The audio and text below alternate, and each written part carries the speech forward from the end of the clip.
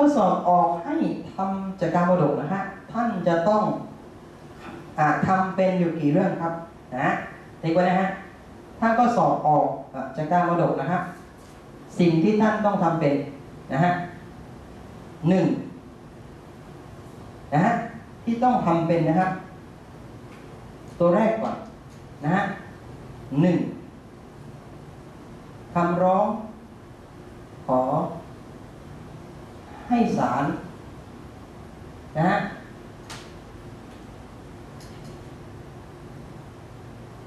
ตั้งผู้จัดการมรดกนะฮะคำร้องขอให้ศาลตั้งผู้จัดการมรดกนะฮะตัวแรกที่จะต้องเป็นนะฮะระวังนะฮะตัวนี้ตัวท้ายมันนะครับ ไม่ใช่ไปขอว่าดอกบัวดอกเบี้ยเท่าไหร่นะฮะมันไม่มีนะฮะตัวสองนะฮะที่ท่านจะต้อง ทำเป็นก็คือตัว นะฮะหนังสือให้ความยินยอมทายาทหนังสือให้ความยินยอมทายาทนะฮะที่ต้องเป็นก็คือว่าหนังสือให้ความยินยอมทายาทนะในฉบับที่สองมันต้องเป็นเหมือนกันตัวนี้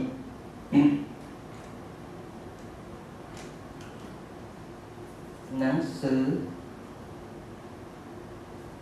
ให้ความยินยอมทายาทนะครับ หมายความว่าในมาตรา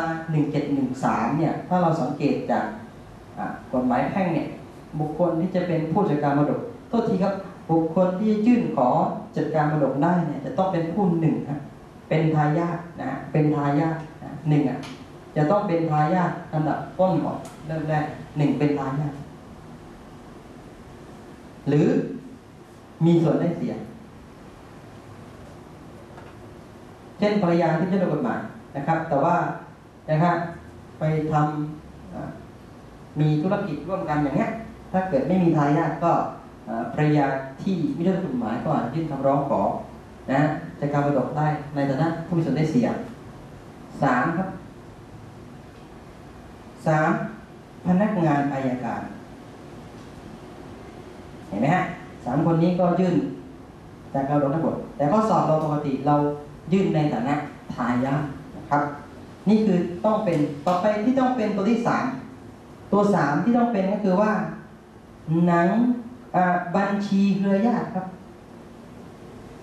เครือญาติบัญชีเครือญาติเนี่ย ก็เป็นหนังสือที่บ่งบอกว่าผู้ตายเนี่ยนะฮะเช่น บิดา มารดานะครับ แล้วก็เจ้ามรดก แล้วก็มีภรรยา แล้วก็มีบุตร เห็นไหมครับเนี่ยก็ต้องบรรยายมาว่า บิดามารดาเนี่ย ยังมีชีวิตอยู่หรือไม่นะครับ ถ้าถึงแก่ความตายไปแล้วก็ต้องมีหลักฐานมาแสดงนะครับ เช่นมรณบัตรนะชอบหรือไม่ชอบก็ต้องมีใบสำคัญการสมรสภรรยาชอบหรือไม่ชอบก็ต้อง มีใบสำคัญการสมรสแล้วก็บุตรนะฮะก็คือสุทธิบัตรในเข้ามาเกี่ยวข้องนั้นอย่างน้อยหนึ่งฮะอย่างน้อยหนึ่งเวลาท่านทำจากการมรดกเนี่ยสามตัวเนี้ยท่านต้องเป็นนะครับ บัญชีเครือญาติหนังสือยินยอมแล้วก็คำร้องขอให้ศาลตั้งผู้จัดการมรดก ตัวที่สี่ก็คือคำแถลง ขอประกาศหนังสือพิมพ์ ห็นไหมฮะท่านจะต้องทราบด้วยว่าในการจัดการมรดกเนี่ยต้องมีการประกาศหนังสือพิมพ์ด้วย เห็นไหมฮะต้องมีการประกาศด้วยนะฮะต้องมีการประกาศด้วยนะครับ และมีการคัดค้านหรือไม่นะฮะเนี่ยสี่ตัวเนี่ยท่านจะต้องต้องทำเป็นนะฮะในการสอบภาคทฤษฎีปฏิบัติตัวปีนะฮะแต่ว่าหนักไปทางทฤษฎีนะครับ เรื่องนี้นะฮะหนักไปทางทฤษฎีนะครับ แล้วก็ถ้าในวันสืบพยานก็นะครับ ตัวทีครับในวันแต่สวนร้องก็ศาลก็จะพิจารณาว่า มีการคัดค้านหรือไม่ ถ้ามีการคัดค้านแล้วก็ ผู้ยื่นคำร้องไม่ต้องห้ามตามมาตรา1 7 1 8แล้วนะครับนะไม่เป็นผู้เยาว์ไม่เป็นบุคคลล้มละลายต่างๆ ก็ศาลก็จะสั่งให้บุคคลต่างๆนั้นเป็นผู้จัดการมรดกต่อไปนะครับ อันนี้คือเรื่องของนะคำร้องขอเป็นผู้จัดการมรดกก็จะเริ่มในลักษณะแบบนี้นะฮะก็จะเริ่มจากตรงนี้นะฮะ อันผู้ข้อสอบต้องไม่ลืมนะฮะสามสี่อย่างเนี้ยต้องเป็นนะฮะต้องเป็นนะฮะต้องทำเป็นนะฮะซึ่งถามมาแล้วจะทำยังไงก็เมื่อท่านฟังคำบรรยายนี้นะฮะเมื่อท่านฟังคำบรรยายนี้ ผมก็พยายามอธิบายไปเรื่อยๆนะพยายามอธิบายให้ท่านได้เห็นเรื่อยๆว่าอ๋อนะแต่ละตัวเนี่ยนะฮะก็จะเริ่มต้นจากจุดไหนเอานะฮะนี่ท่านพอเห็นภาพเลยนะฮะต่อไปฮะมาดูว่า ในส่วนของตัวคดีมีข้อยพาดนะครับ ในส่วนคดีมีข้อยพาดเนี่ยก็จะเริ่มต้นจากการทำเป็นคำฟ้องยื่นต่อศาลนะฮะศาลก็เมื่อมีคำฟ้องมาแล้วนะครับ แล้วก็จะตรวจฟ้องนะฮะตามมาตรา18นะครับตรวจฟ้องเราเราจะมีคำสั่งรับหรือไม่รับนะฮะรับหรือไม่รับก็จะอยู่ในเงื่อนไขตรงนี้นะครับว่าคำฟ้องของผู้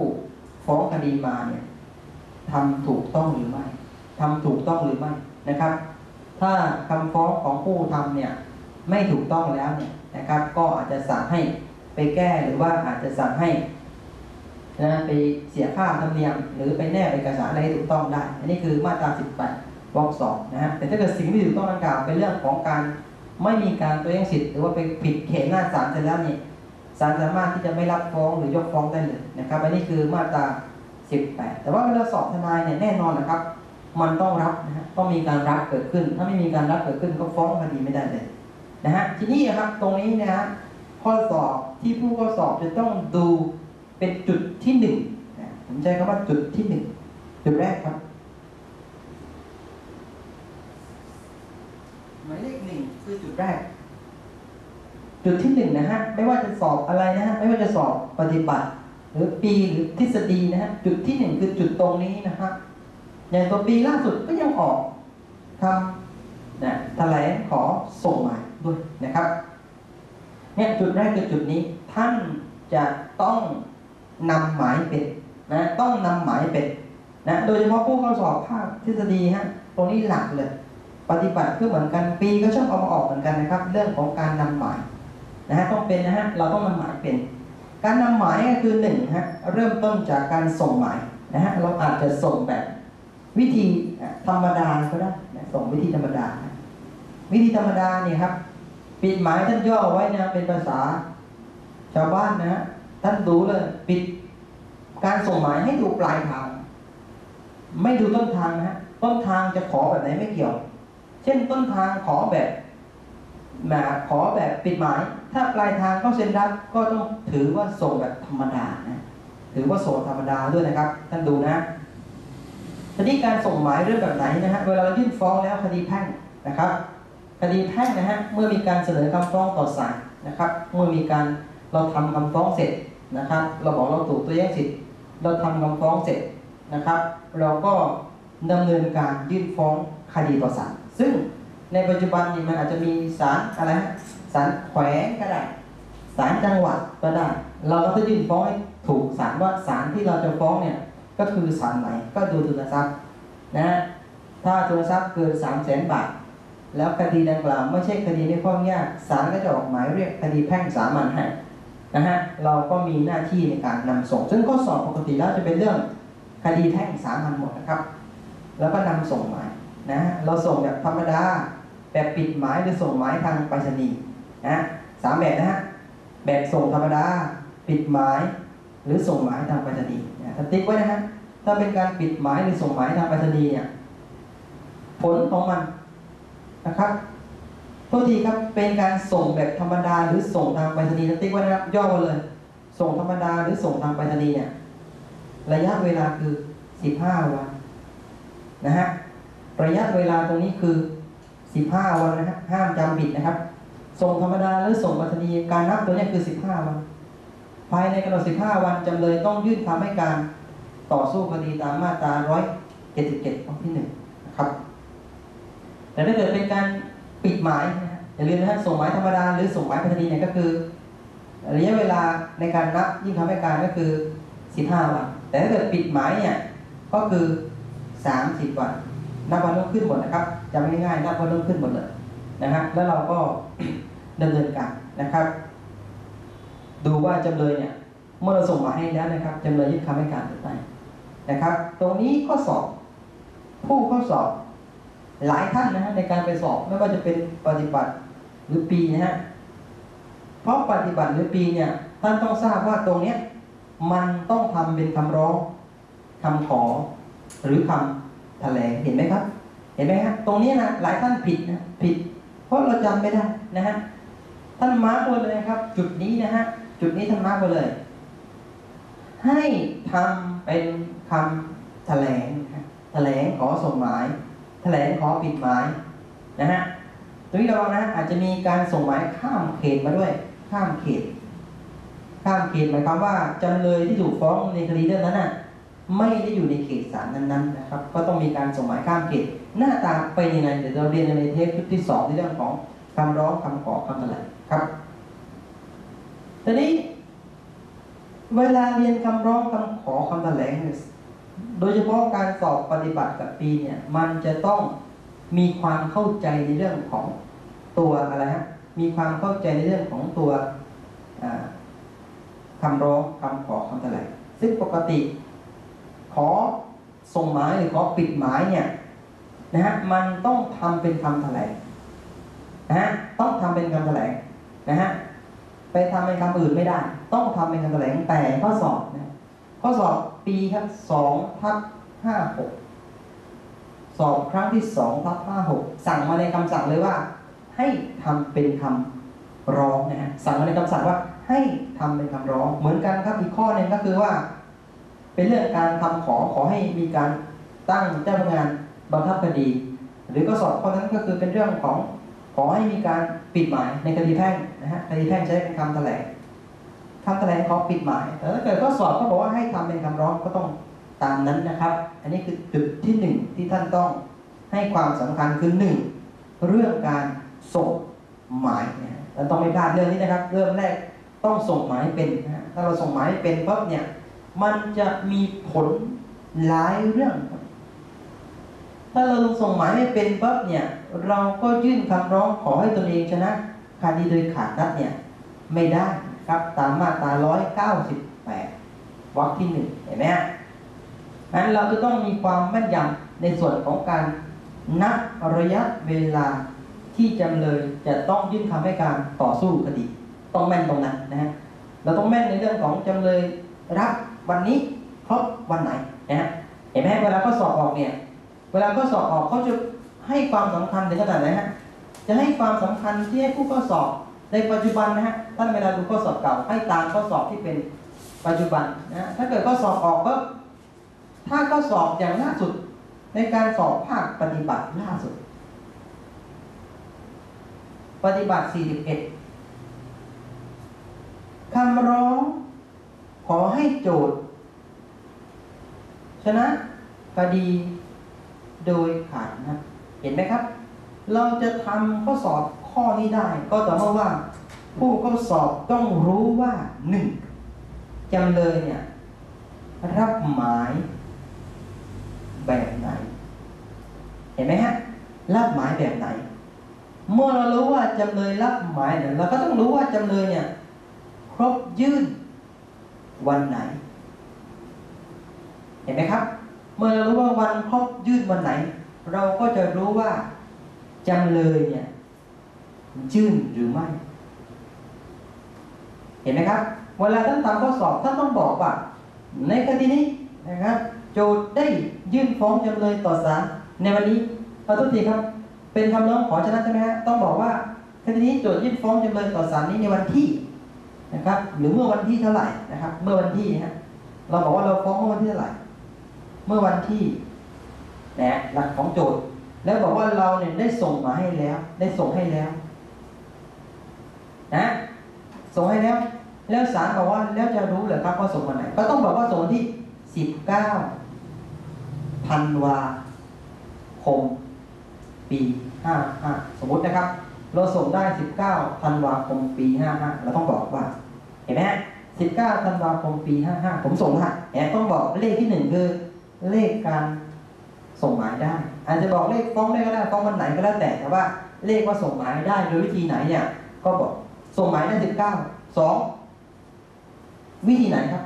วิธีไหน วิธีที่สำคัญเช่นปิดหมายเห็นไหมครับ ปิดหมายต้องบอกไปด้วยในข้อสอบปิดหมายพอปิดหมายแล้วก็คือ ต้องบอกด้วยว่าครบระยะเวลาที่จำเลยยื่นเนี่ยคือวันไหน เห็นไหมครบวันไหน อย่างเช่นเราปิด19ใช่ไหม เวลาคิดตรงนี้ เดี๋ยวพอตอนเรียนจริงๆเนี่ย ผมจะอธิบายให้ฟังคิดแบบไหน เดือนธันวาคมมีทั้งหมด 31 วันใช่ไหมท่านดูนะ ผมคิดถูกหรือเปล่า ก็เราเอา 19 ชนกับ 19 นี่เท่ากับ 31 วัน ลบไป 1 วัน เห็นไหมฮะ ลบออกไป 1 วัน ก็เท่ากับครบ 18 นะเราปิด 19ธันวาก็ครบ 18 มกราคม56 ที่จำเลยจะต้องยื่นคำให้การต่อสู้คดีนะฮะต้องบอกศาลว่ามันครบวันเนี้ยนะฮะ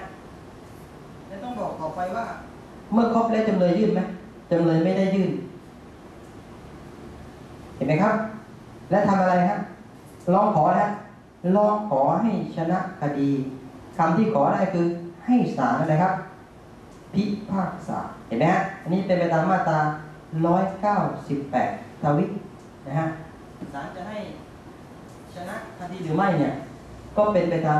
198 ทวิฟ้องโจทย์มีมูลแล้วก็ไม่ขัดกฎหมายเห็นไหมฮะ อันนี้คือที่ต้องเขียน ที่ชี้แบบนี้เห็นว่า ถ้าท่านไปเขียนบอกว่าคดีนี้โจทยื่นฟ้องจำเลยปรากฏว่าครบกำหนดระยะเวลาที่จำเลยจะต้องยื่นคำให้การแต่ปรากฏว่าจำเลยไม่ยื่นคำให้การตามระยะเวลาที่กฎหมายกำหนด ถือว่าจำเลยขานนัดที่คำให้การ ดังนั้นโจทย์จึงร้องขอต่อศาลให้ศาลพิพากษาให้โจทย์ชนะคดีขาดนัดด้วย อย่างนี้คะแนนจะไม่ได้ เพราะว่าท่านไม่ได้บอกว่าจำเลยรับวันไหนรับแบบไหนครบวันไหนเห็นไหมฮะท่านไม่ได้บอกมาเมื่อไม่ได้บอกมาคะแนนของเราก็จะหายไปตามส่วนนะฮะเอานะฮะอันนี้ผมเกริ่นให้ฟังก่อนนะครับ เดี๋ยวเวลาทำจริงก็ได้ทราบนะฮะเอานะ ตัวแรกท่านทราบเรื่องการ อ่าส่งหมายเป็นต้องเป็นฮะต้องเป็นพอส่งหมายเสร็จปุ๊บเนี่ยก็มาดูฝั่งนี้พอส่งหมายเสร็จปุ๊บก็มาดูว่าจำเลยยื่นหรือไม่ยื่นนะครับ ยื่นไหมจำเลยยื่นคำให้การหรือไม่ เห็นไหมครับถ้าจำเลยยื่น ไปดูว่าศาลรับหรือไม่รับ รับหรือไม่รับ ถ้าไม่รับคำให้การจำเลยเช่นคำให้การเขียนอ่านไม่ออก นะฮะหรือไม่รู้ว่าเขียนมาอะไร หรือว่าไม่ได้ปฏิบัติตามกฎหมายกำหนด หรือว่าในคำให้การมีแฟ้งฟ้องแย้งด้วยแต่ไม่ยอมยอมไม่ยอมวางพวกนี้นะฮะก็อยู่ในเงื่อนไขมาตรา18 นะครับ ยื่นหรือไม่ยื่นถ้ายื่นแล้วเนี่ยนะฮะก็ไปดูว่าศาลรับหรือไม่รับ รับไม่รับก็ ถ้าเกิดจำเลยยื่นแล้วไม่มีการขัดได้นะครับ แต่ถ้าเกิดจำเลยไม่ได้ยื่นเห็นไหมครับ เรื่องก็จะเข้าสู่มาตรา 198 ในคดีแพ่งสามัญโจทย์ต้องทำคำร้องขอให้ตัวเองชนะ คดีโดยขาดนัดอย่างเมื่อกี้ที่บอกนะฮะต้องทำคำร้องขอให้ชนะ คดีโดยขาดนัดนะครับ อันนี้มาตรา 198 ทีนี้ ผู้ที่เข้าสอบภาคปฏิบัตินะฮะปฏิบัติกับปีเนี่ยนะฮะปฏิบัติกับปีเนี่ยท่านจะต้องทำข้อสอบอยู่ข้อหนึ่ง ข้อสอบข้อนั้นก็คืออะไรฮะ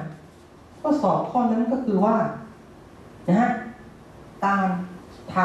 ำคำให้การคำให้การคำให้การนะฮะการทำคำให้การท่านก็ต้องหยิบแบบพิมพ์คำให้การมาเขียนนะฮะหยิบแบบพิมพ์อ่าคำให้การมาเขียนตอบข้อสอบนะฮะ เวลาเราทำคำให้การนะครับ หรือคำให้การและฟ้องแย้งนะครับสองคำให้การและฟ้องแย้งนะฮะคำให้การหรือคำให้การและฟ้องแย้งนะฮะอันนี้คือของตัวปฏิบัติและตัวปีนะฮะผมจะเริ่มในส่วนที่เป็นภาพรวมทั้งหมดก่อนเพราะ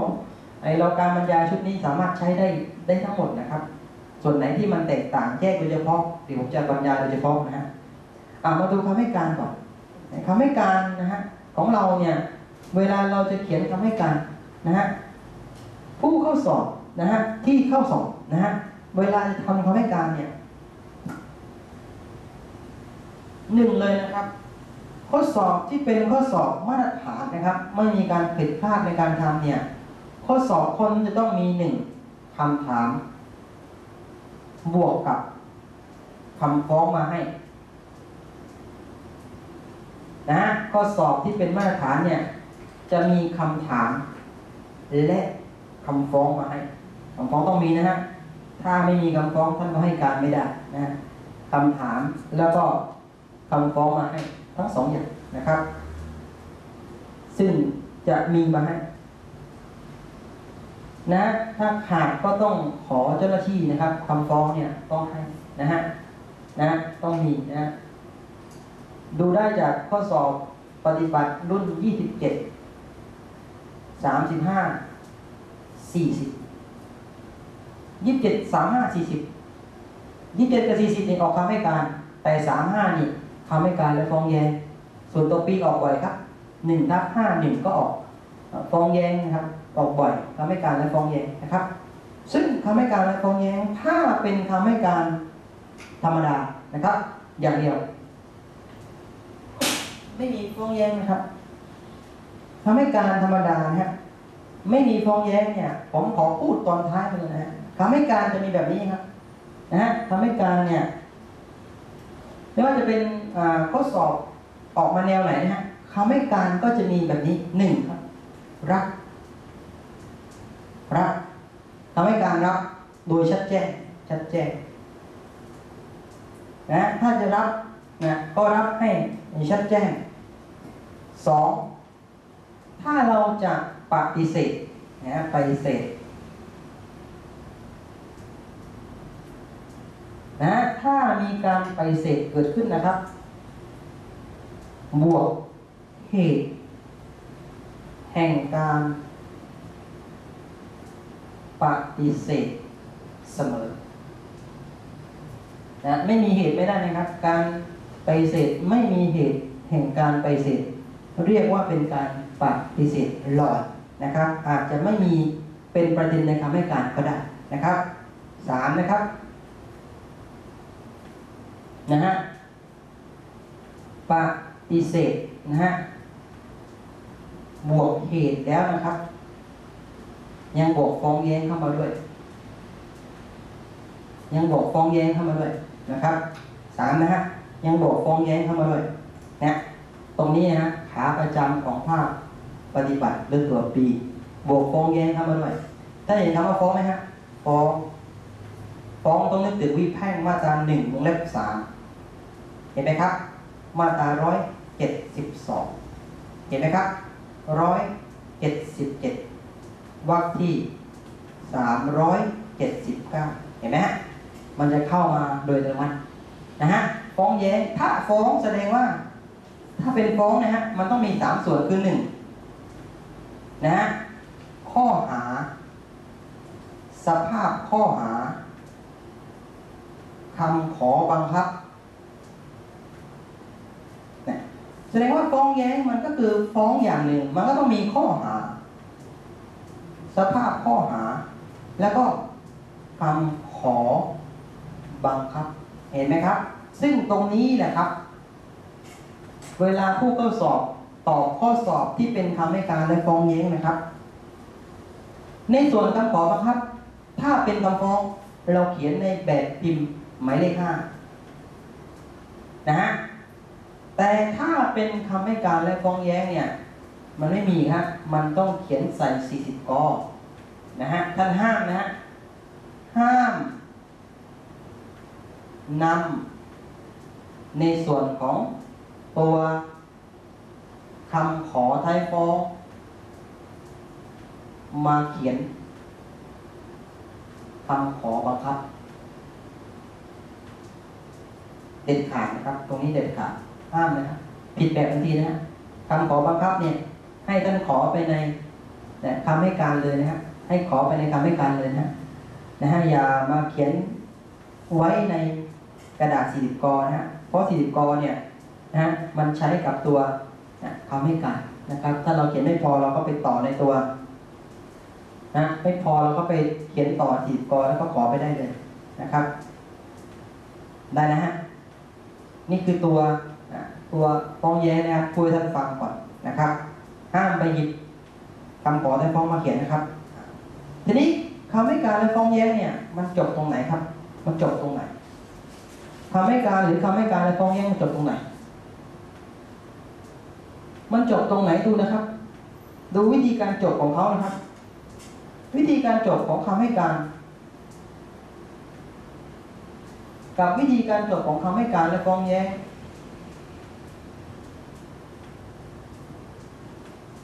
นะฮะ มันจะจบไม่เหมือนกัน ทั้งสองตัวเนี้ยจบไม่เหมือนกันนะฮะถ้าเป็นเรื่องของตัว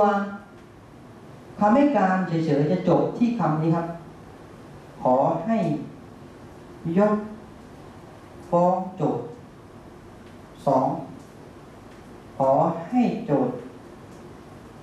นะชดใช้ค่าธรรมเนียมวิชาธรรมเนียมแล้วก็ค่าทนายความนะ จบตรงนี้ขอให้ชดใช้ค่าวิชาธรรมเนียมศาลและค่าทนายความ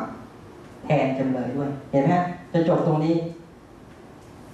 แต่คำให้การและฟ้องแย้งเนี่ย ไม่จบตรงนี้ครับ ดูนะ มันจบแบบไหน มันจบแบบไหนครับมาดูว่าคำให้การและฟ้องแย้งเนี่ยเขาจะจบแบบนี้หนึ่งให้ยกฟ้องเหมือนกันครับ แต่สองเนี่ย ไม่ใช่ค่าธรรมเนียมครับ ต้องให้บังคับโจทย์ ให้บังคับโจทย์ บังคับอะไรก็ใส่ไปครับ อาจจะเป็นหนึ่งสองหรือสามก็ได้ เห็นไหมฮะ แล้วก็สามจึงบอกว่าให้โจทย์เนี่ยชดใช้ค่าวิชาธรรมเนียมศาลเลขค่าทนายความแทนจำเลยด้วย เห็นไหมฮะท่านสังเกตนะ ข้อแตกต่างระหว่างคำให้การและฟ้องแย้งกับคำให้การเนี่ย มันจะอยู่ที่ข้อที่สองก็คือว่า ถ้าเป็นเรื่องของ คำให้การและฟ้องแย้งต้องมีคำขอบังคับด้วย เพราะว่าฟ้องแย้งเป็นคำฟ้องอย่างหนึ่งงั้นคำฟ้องแย้งหรือคำฟ้อง ถ้าไม่มีคำขอบังคับก็อยู่บ้านดีกว่าครับอย่าไปฟ้องเพราะว่าคำฟ้องมันต้องมีคำขอบังคับ ฟ้องแย้งก็เหมือนกันครับ ถ้าไม่มีคำขอบังคับก็อยู่บ้านดีกว่านะครับอันนี้คือหลักการที่จะผมจะแนะนำเบื้องต้นให้ท่านได้ทราบนะครับ เอานะฮะกลับมาที่เดิมตัวนี้ผู้เข้าสอบนะฮะจะต้องทำคำร้องขอให้โจทย์ชนะ คดีโดยขาดนะ ซึ่งน่าเสียดายเนี่ยในเทอมล่าสุดมีหลายท่านนะครับ ตัวนี้หลายท่านเลยครับ ที่จำไม่ได้ว่าตัวเนี้ยทำเป็นคำอะไรจำไม่ได้เยอะเลย ในการสอบภาคปฏิบัติเยอะเลยจำไม่ได้ฮะเพราะว่าในข้อสอบตัวเนี้ยเป็นเป็นการสอบของภาคทฤษฎีฮะท่านก็อาจจะจำไม่ได้นะก็เลยจำไม่ได้เสียดายนะฮะก็อาจจะโดนตัดคะแนนบ้างฮะแต่ไม่แต่ไม่ถึงขนาดเป็นศูนย์นะฮะโดนตัดบ้างอยู่แล้วนะครับ อันนี้คือ ต้องพยายามจดจำนะฮะตัวสำคัญสำคัญนะครับ นี่คือตัวที่สองชนะคดีโดยขาดนัดเนี่ยท่านต้องดูไว้เป็นระดับที่สองนะฮะว่าอ๋อถ้าเกิดจำเลยไม่ทำให้การต่อสู้คดีแล้วเนี่ยนะครับ โจทย์ต้องทำคำร้องขอให้ตัวเองชนะคดีโดยขาดนะนะครับ ส่วนศาลจะให้ชนะคดีหรือต้องสืบหรือไม่เนี่ยก็ขึ้นอยู่กับศาลกำหนดว่าเป็นคดีหกประเภทตาม มาตรา 198 ทวีวรรคที่ 3 หรือไม่นะครับ ความจริงมี 5 ประเภทนะครับ แต่ว่าประเภทที่6เนี่ยคือเป็นเรื่องศาลที่จะใช้ดุลพินิษนะเป็นผู้นะกำหนดให้สืบหรือให้สืบก็ได้ถ้าศาลใช้ดุลพินิษให้สืบถ้าคุณไม่สืบก็อาจจะตกเป็นผู้แพ้คดีได้เหมือนกันครับศาลยกฟ้องได้เหมือนกัน เพราะถือว่าคดีของคุณไม่มีมูลครับอะเห็นไหมฮะอันนี้คือมีคำฟ้อง จำเลยไม่สู้คดีนะฮะคำฟ้องเวลาส่งหมายก็ต้องมีการปิดหมายหรือส่งหมายข้ามเขตแล้วแต่ฮะต้องทำได้แบบหนึ่งนะฮะเพื่อส่งหมายให้แก่จำเลยนะครับพอเราส่งไปแล้วนะครับจำเลยรับแล้วเนี่ยหรือถือว่าให้รับเนี่ยนะครับ แล้วไม่ยื่นตัวโจทย์ต้องร้องขอให้ชนะคดีขาดนะตัวนี้ระวังนะอย่าไปทำคำร้องขอให้จำเลยขาดนัดยิ่งคำให้การนะครับ เพราะว่าตั้งแต่ปี 40 ต้นมาเนี่ยมาตรา197 แก้นะว่าการขาดนัดของจำเลยเนี่ยให้เป็นไปโดยผลของกฎหมายนั้นว่าไม่ต้องไปร้องขอให้จำเลยขาดนะครับ แต่ว่ามาร้องขอให้ตัวเองชนะคดีเลยนะตามมาตรา198วรรคที่หนึ่งครับ ต่อไปมาดูลักษณะที่คดีของจำเลยเนี่ยมันมีการสู้คดี